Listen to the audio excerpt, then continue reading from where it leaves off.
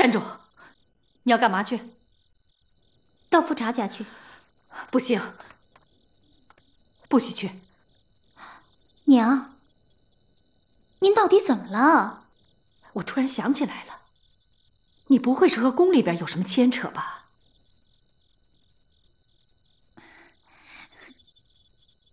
是有牵扯。这可怎么好啊，慧茹！你想想啊，咱们是什么人家？虽然是一品大员，可是怎么能和宫里边的人？哎，你是不是和宫里那个娘？你想到哪儿去了？行，今儿你爹回来，我非得跟他说，我一定得跟他说。娘，您要是敢跟爹说。我就是个死。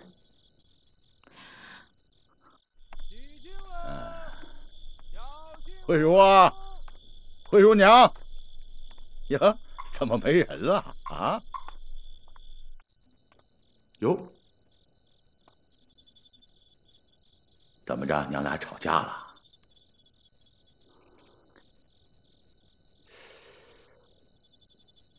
看来这气生的还不小啊。我说慧茹，你想说什么？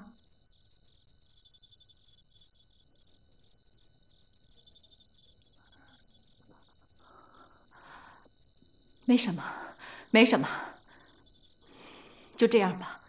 我做饭去了。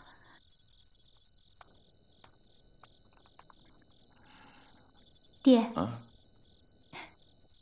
那我读书去了。啊。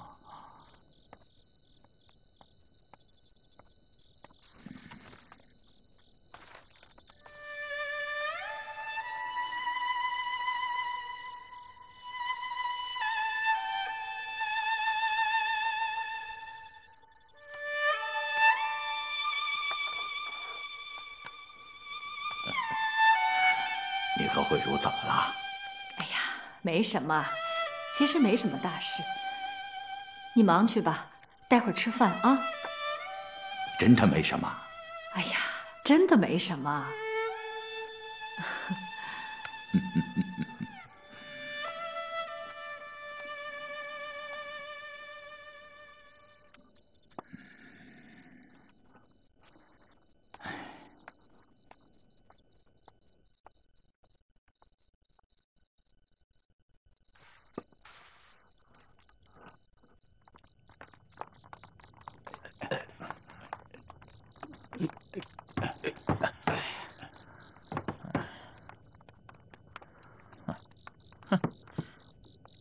路上的一切自有官仪照管，不必多带东西。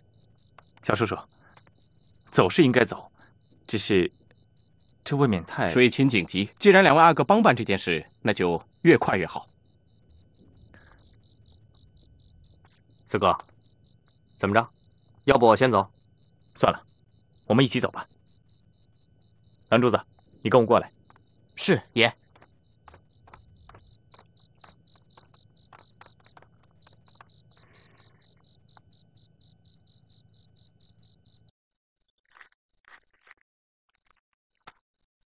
爷，您这是干什么呀？你把这信送到富察家去，求富察家的大姑把信送出去。我知道了，我先走，你马上追上来。是。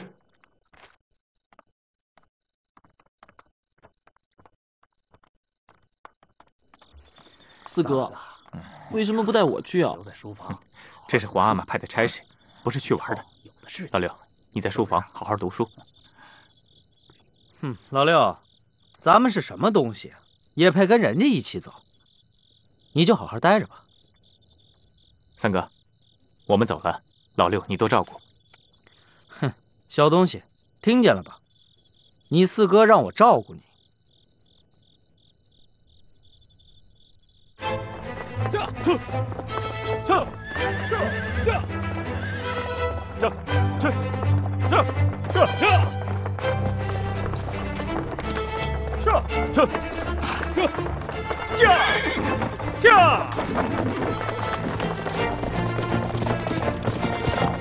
这这这这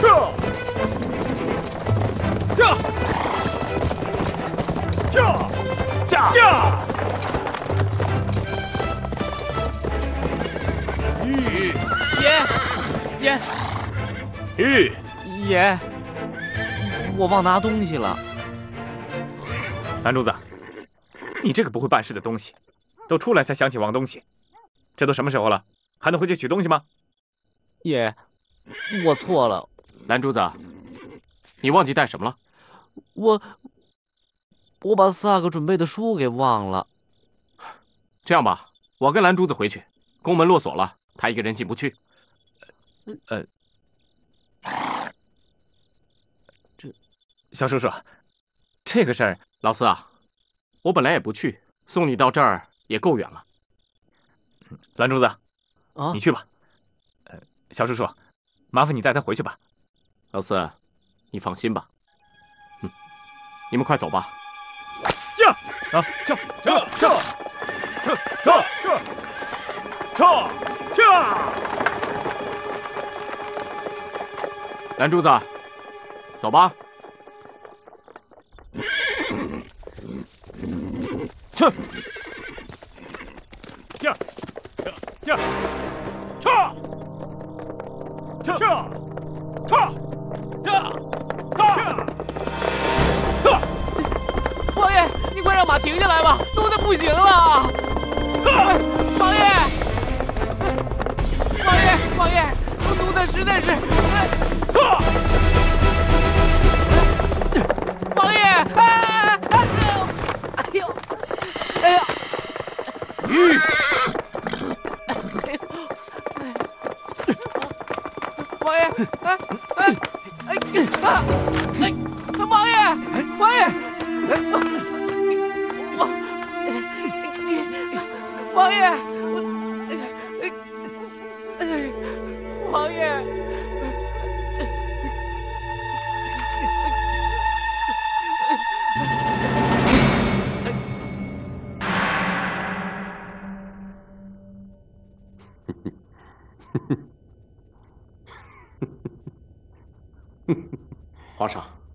臣以为这件事不能再拖延下去了。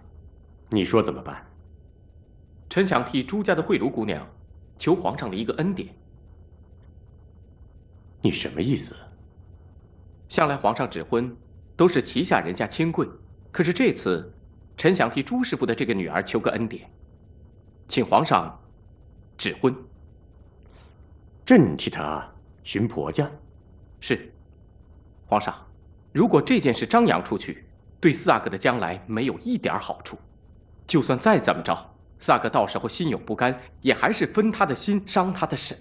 所以，不如一下子干净利落解决。这倒像是个主意。可是嫁谁家呢？皇上，臣已经选好了一家现成的。从前的闽浙总督徐家的儿子，这徐家儿子是三甲进士，而且徐家向来门风极严，断不会和四阿哥再有牵连。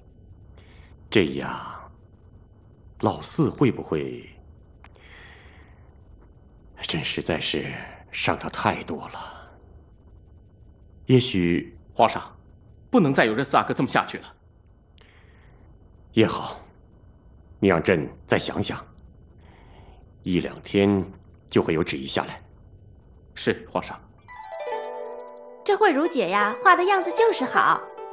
姐，我只绣这一个，另外的你拿去绣了吧。姐，你怎么了？芳子，你和丁香忙，我没心思，你让我自己闲一刻好不好？好啊。丁香，你看我这花样子好不好？好，只可惜呀。可惜什么？可惜你的手艺啊！要是我们大姑上了手，那花啊都跟真的似的。姐，你听听，你这府里的丫头啊，也太不给人面子了。丁香，你也忒没规矩了吧？客人还在这儿呢，由得你说三说四的吗？你出去吧。是大姑。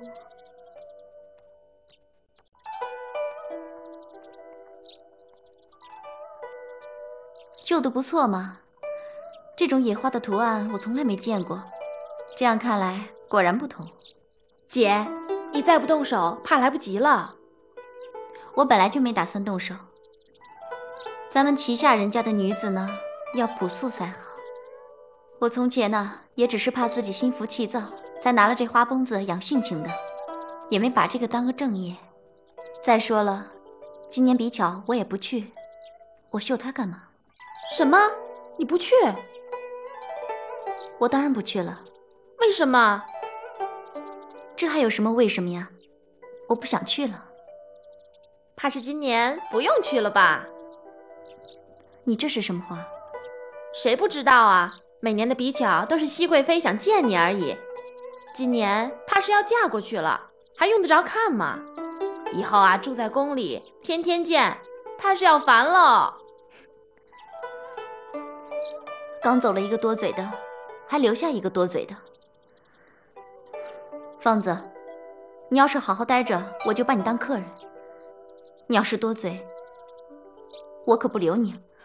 我不再说就是了。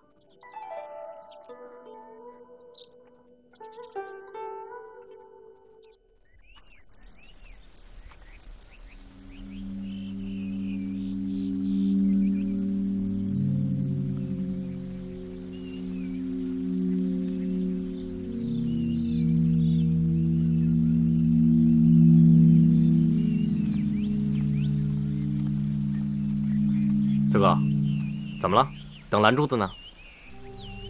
蓝珠子怎么这么不会办事啊？说是跟上来，怎么这会儿还没过来呢？怎么着？要不你先回去，我们先过去。不必了，缺了他也没什么。是啊，喜珠子伺候着我四哥。这。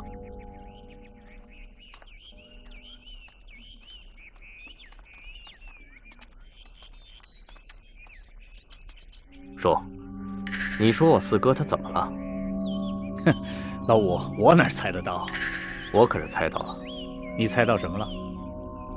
你想想，他必定是有秘密了，不然他在院子里的时候为什么要回去写东西？他写完了东西，蓝珠子又去哪儿了？还不是回去给谁送信去了？你以为是什么事？不知道，不过肯定有事儿。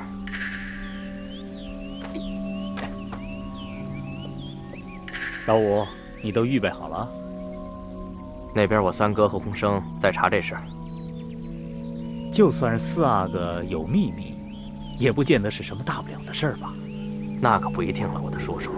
你想想，我四哥这种光明磊落的人，要是能偷偷摸摸的，那必定不是什么小事。行了，别想了，叔叔，别让人看到我们老咬耳朵。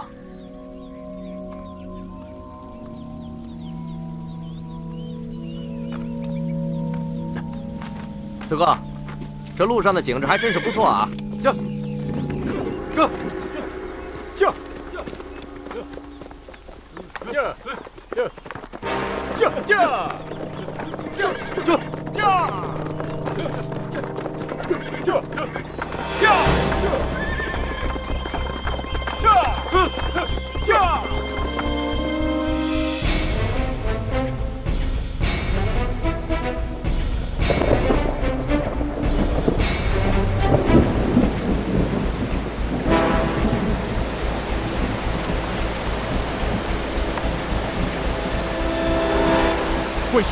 可告诉你，你再不把民夫和石料给我预备齐了，这伏虎河的堤坝要是垮了，我可拿你十万。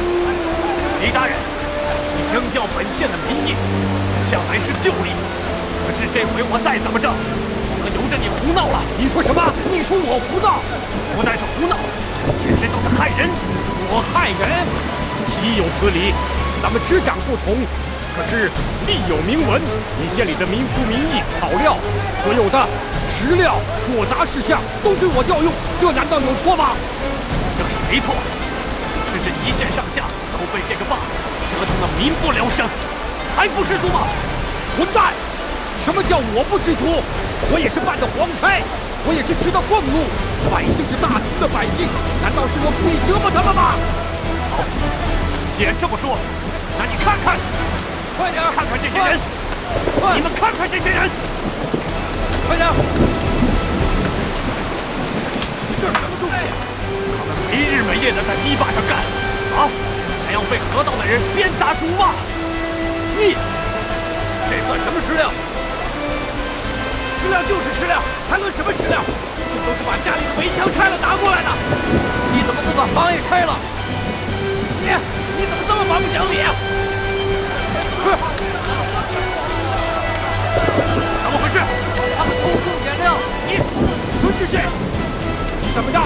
想挑动暴民造反吗？好，赶紧这么说，我给你看！让开！大家都不要嚷嚷！你们自己想要投河死吗？谁也不用拦着！别拦着我！让开！让我，让我跳！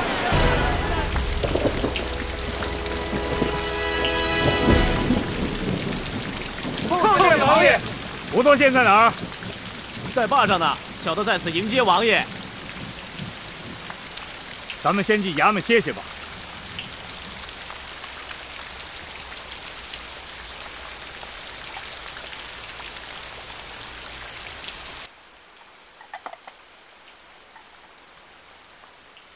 这浮托县知道我们来吗？呃，知道。本来毕县是要亲自迎接的，可是坝上出了点事儿，就急忙赶过去了。出了什么事儿了？这个，衙役，坝上出了什么事？有什么不好说的？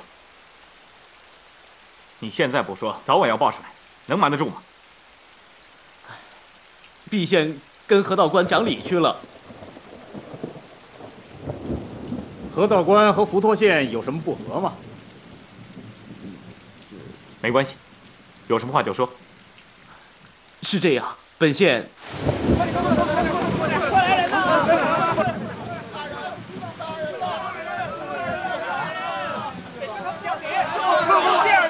孙大人，孙大人，你怎么了？孙大人，孙大人怎么了？孙知县让他们给推到水里去了，快抬进去！快！咱们回去找人来，和他们拼了！非把河道的衙门给砸了不可！走走！拼了！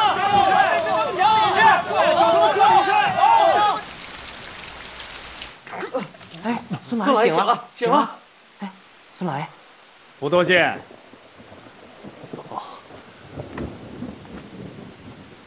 王爷、阿哥，浮托县给各位请安了。你这是怎么回事啊？刚才我听说怎么着，被河道的人推到水里去了。是，为什么呀？河道，河道督责过甚，百姓不能承担。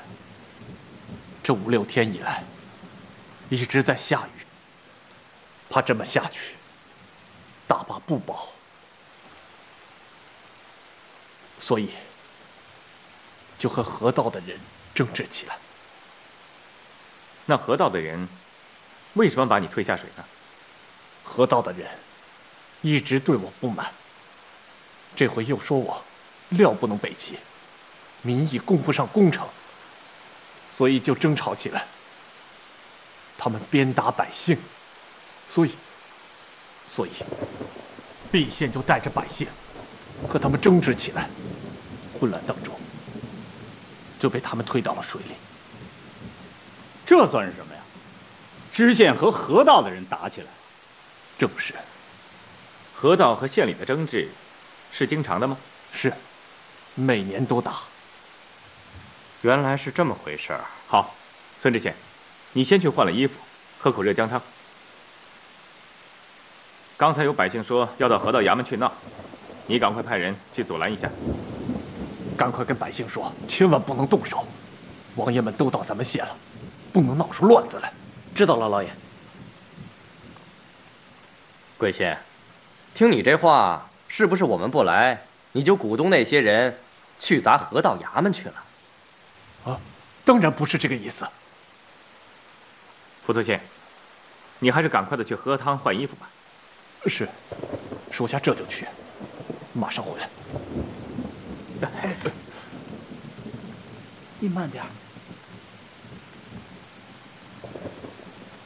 四哥，你在这待着，先问着孙知县，我到河道衙门去看看。我跟你一起去。不必了，我先过去。老五，咱们还是一块儿去吧。老四，我看这儿的事儿，还是咱们先问清楚，让老五先过去吧。喜柱子，赶紧的，把雨披拿来。这。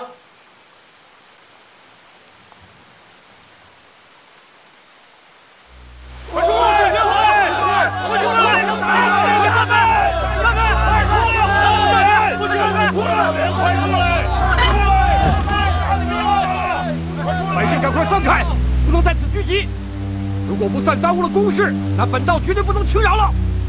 你们还想不想理？你们你们为什么不要这狗官，伤人了！伤人了！狗官伤人了！伤人了！狗官，你敢伤人？太不像话了！狗官，你敢伤人？过来，过来，讲理！过去，过去，过来！喜珠子，咱们绕到后面去。爷，咱们还是躲开了吧，这边也忒乱了。躲什么躲？我还怕他不乱。走。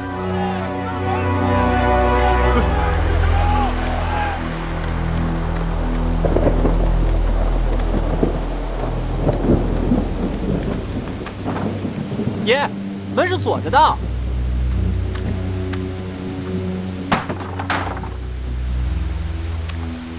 这些暴民真是傻到了极点，县城的后门不进。奴才觉得他们是来讲理的，所以才……你懂个屁！快点，前面通过。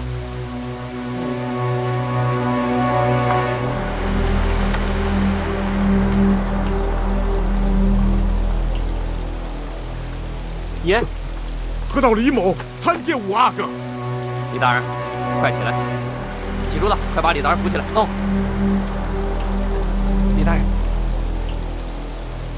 李大人，你受苦了。五阿哥，李某办事不力，请五阿哥恕罪呀！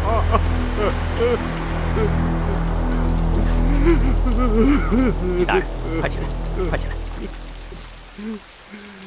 李大人，咱们到衙门里说话。哎，五阿哥，请。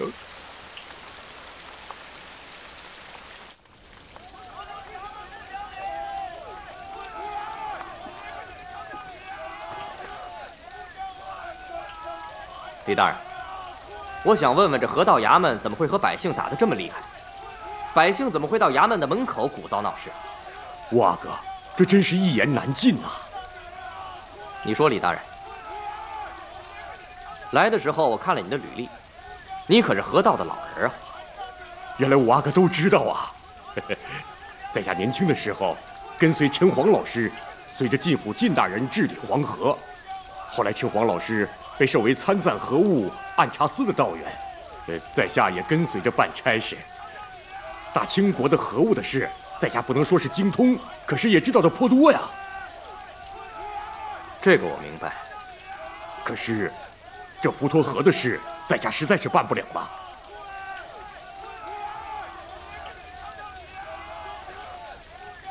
那是不是此地的知县极为赖皮？鼓动百姓与河道作对，五阿哥真的是明察秋毫啊！这滹沱孙知县向来是以清官自诩，其实所谓清官，不过是惯会刁买人心。此地的百姓因为配合河务，所以向来不纳钱粮。就这么着，他们还是心有不满，从来就不能按时按质把筑坝的料交到河道上来，简直是岂有此理！五阿哥，还有呢。本来县里对差事就不能按时支应，这个所谓的尊青天来了之后，简直就是鼓动百姓，根本不理河道的要求。混账！瓦哥，在下可不敢说呀。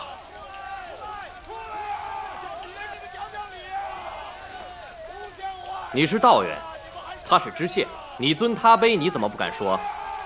瓦哥，这孙知县他会鼓动百姓啊，百姓都是贱民。谁不乐意把钱粮都留给自己呀？这一下子，我们是要料没有，要人经常的找不到人。原来是这样，五阿哥，在下说什么您不信可以，可是您看看外边的人，现在还闹着呢，说不准，我哪天就让这些暴民给杀了。岂有此理！怎么能让他们这么猖狂？五阿哥既然明白了在下的苦衷，那就请五阿哥给在下做主了。好。我给你做主。我这就去县衙，把知县问个明白。那最好不过了。大人，大人，那些老百姓被县衙的人给拉走了。五阿哥，您看，您看，您来了，这知县怕了，他说让他们走，他们就都走了。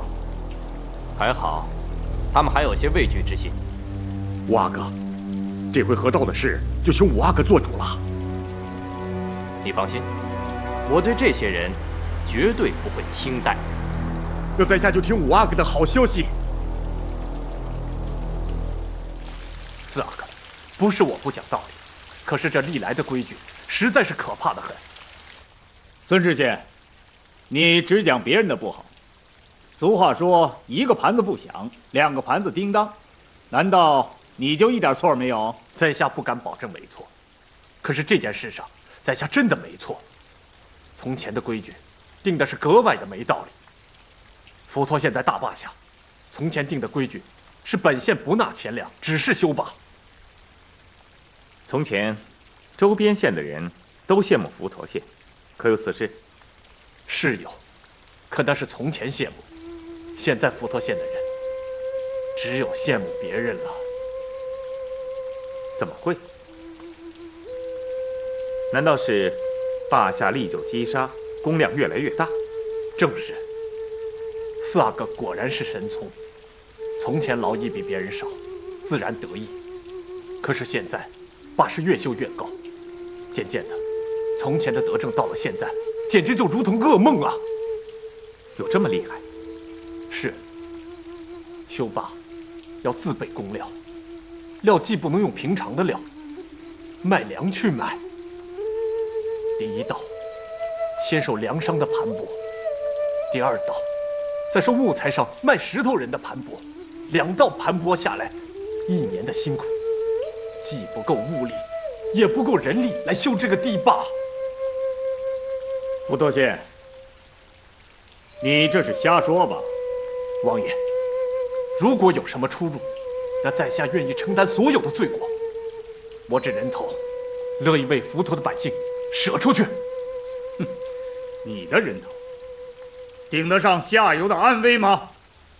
王爷如果不信在下的，在下愿意让王爷听听佛陀的百姓怎么说。不必说了，我知道佛陀的百姓怎么说。老五，你回来了，怎么样？四哥，叔叔，我有句话要跟你们说。佛陀先，你出去一下。这。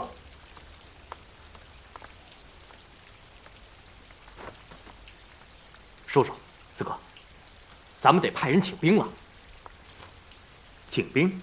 为什么？这佛陀县令明摆着是为了取悦百姓，所以，咱们得请兵弹压了。出什么事了？还用出事？暴民都到河坝上闹事了。哎，县里不是派人把人都叫走了吗？四哥，走是走了，可那只是暂时走了，谁知道他们什么时候又回来了？那也不至于。我觉得老五说的有道理，还是不能放松。叔叔，老五，我觉得事情并没有那么复杂。老四，你是听了那个知县的胡说，被他的花言巧语给骗了，我才不信呢。不是，孙知县说的有道理。因为我看从前的奏折，知道这种事已经发生不止一次了。孙知县的前任就是实在是干不下去了，弃职逃走的，是吗？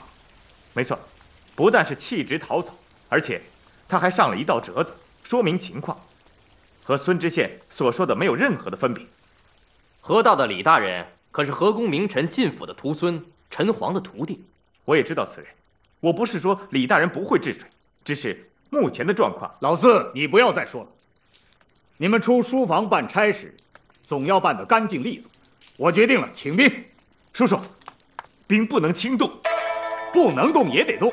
现在事情紧急，不能不动。哎，这天放停了，雨停了，放停了，该放晴了，放晴了，停了。哎呀，雨停了，哎，雨停了，这下子好点了。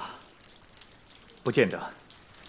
此地的气候极为怪异，这个地方停了，上游必有大雨，向来如此。老四，你怎么知道的？地方方志上写的。那就更得请兵了。来不及了，我有一个办法。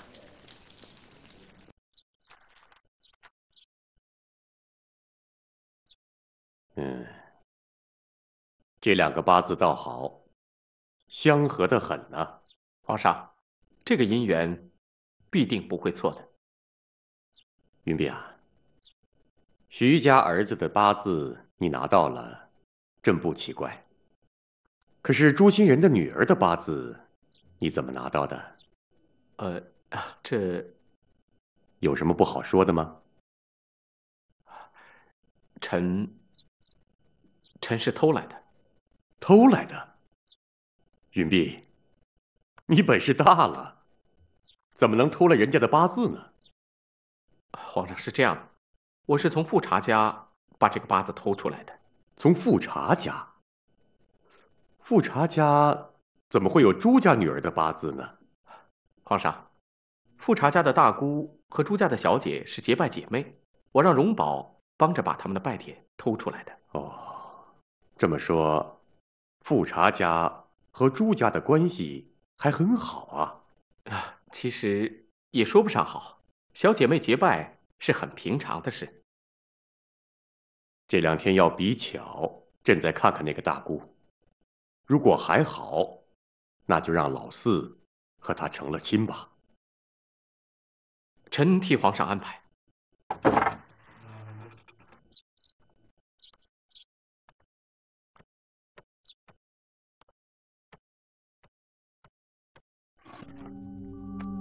谁呀？啊啊！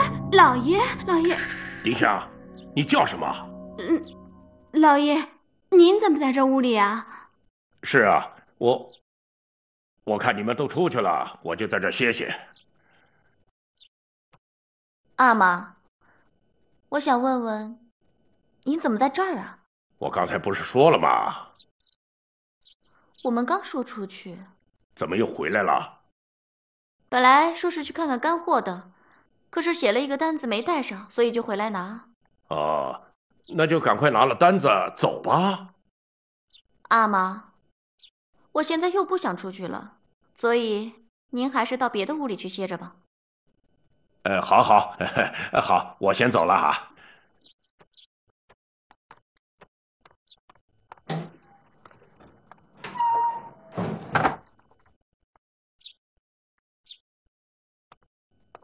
大姑，你说老爷可真是怪了，哪儿歇着不好，偏到咱们这屋歇着。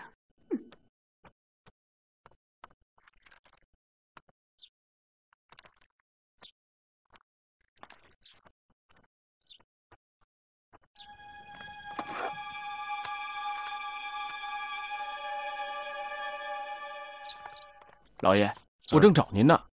混账东西！我不是说了吗？大姑回来得赶紧告诉我。我哪知道啊？他一下子就进来了，什么也没说，就直接奔了后院了。嗯。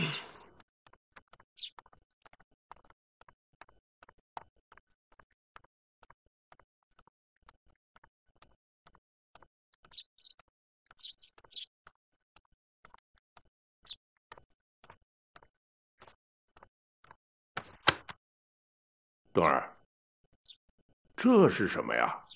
您要找的东西，我实在不明白。这是我和慧茹的八字，你要它干嘛？我是闲着没事儿，就拿着庚帖翻翻。冬儿，没什么，以后我不再乱翻你的东西就是了。阿玛，您可不是到我屋里随便乱翻东西的人。也没什么，就是这么点事儿。冬儿，我告诉你啊，打今天起，你就得好好准备比巧的事儿吧。阿玛，我不去了，你死了这条心吧。为什么？反正我就是不去了。你要想给家里惹祸，我也不说什么了。反正我这条老命是搭在你的手里，你就满意了。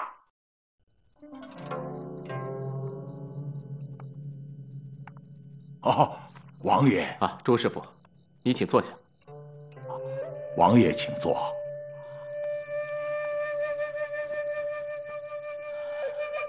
王爷找我有事。啊，朱师傅，我想跟你谈谈天，不知你是否有空啊？四阿哥同五阿哥都去办差事去了，书房剩下了一个不会读的，和一个不想读的，费心呐。朱师傅，我想问你，这书房里没了四阿哥，是不是好有一比呀？我知道你的意思，好比做菜没了盐，蘸糖葫芦没了糖，又好比，嗨，比来比去都没意思了。王爷真会说笑啊！孔夫子说：“有教无类。”可是您刚才还说，书房里只剩下了两个人，一个是不会读的，一个是不想读的。啊，我承认，虽然是有教无类，可是龙生九子还各有不同呢。啊，人有余弦，也有中间。那就是说。四阿哥是你格外高看一眼的，高看一眼说不上，我不能高看谁。可是，我确实对四阿哥寄望甚高。那就是了，朱师傅，如果四阿哥自暴自弃，如果四阿哥做事癫狂，你会怎么办？我不会让他那么下去的。朱师傅，有件事情，我始终没太想明白，就是四阿哥在当哈哈猪色的时候，你怎么不急呀？不急？我心中是五内俱焚呐。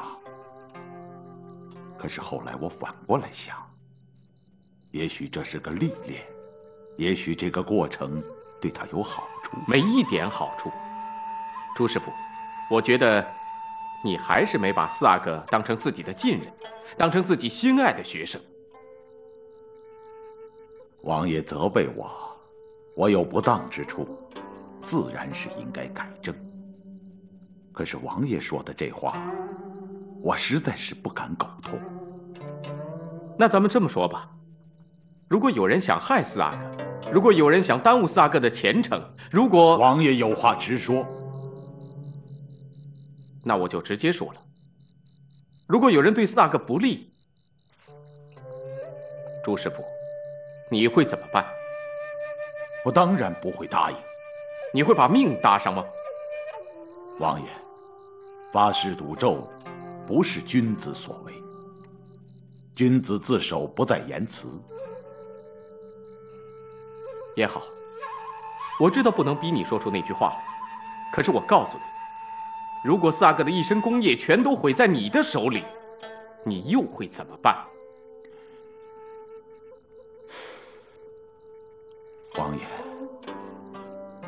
您怎么越说越远了？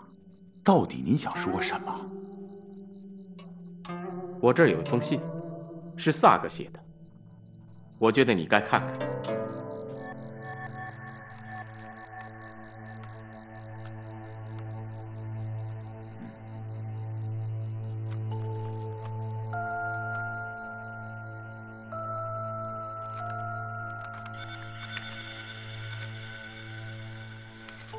朱师傅，你看了，可别急呀。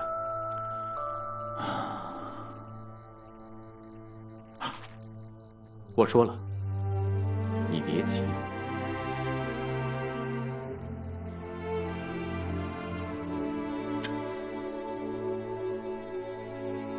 这这真是四阿哥写的？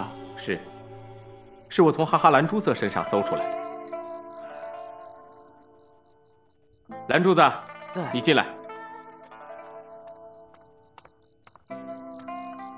朱师傅，蓝柱子，你说说，这信是打哪儿来的？是是四阿哥给的。